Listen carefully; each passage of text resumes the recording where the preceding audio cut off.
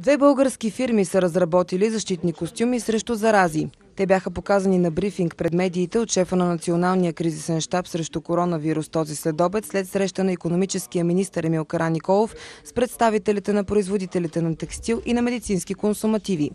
Предпазните костюми на двете фирми отговарят на поставените изисквания да са за многократна употреба и да са от водонепромокаем плат. Едната от фирмите е и производител на плата, заяви министърът. И двата проекта са с 50 пъти цикъл за ползване, което означава, че са за многократна употреба. Те ще са на цена по-скъпа от предпазните костюми за еднократна употреба, но пък ще покрият разхода от използването във времето, допълни Кара Николов.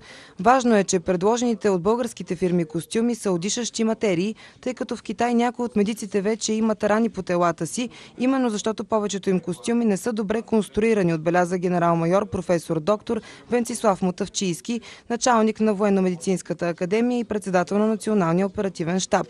В момента у нас се работи с еднократни защитни костюми.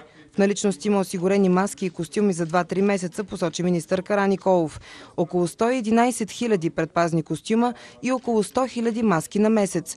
Капацитетът за производство на предпазни лични средства у нас е много по-голям за задоволяване на необходимите количества в страната и дори има възможности за износ. Когато започне производството, приоритетен за фирмите ще е българския пазар, за което има и заповед. Но при задоволяване на нашите нужди, чрез търговските ни аташета в страните, в които имат необходимост от такива предпазни средства, може да се предложи и износ. Министър Караниколов посочи, че държавата помага на аптеките да се свързват с вносители на лични еднократни предпазни средства, но техен е изборът дали ще ги заредят.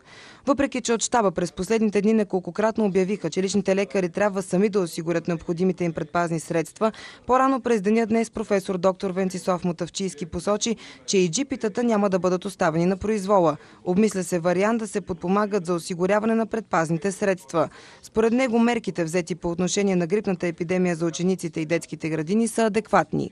По отношение на варианта за удължаване на грипната вакансия, генерал-майор Мутавчийски коментира, че няма връзка между двете български фирми с разработка на защитни костюми срещу инфекции, грип Б и коронавируса, така че удължаване на вакансията по-скоро не е нужно. Ако за грип Б основният таргет са учениците и младите, то за коронавируса е точно в диаметралния спектър на възрастовите граници.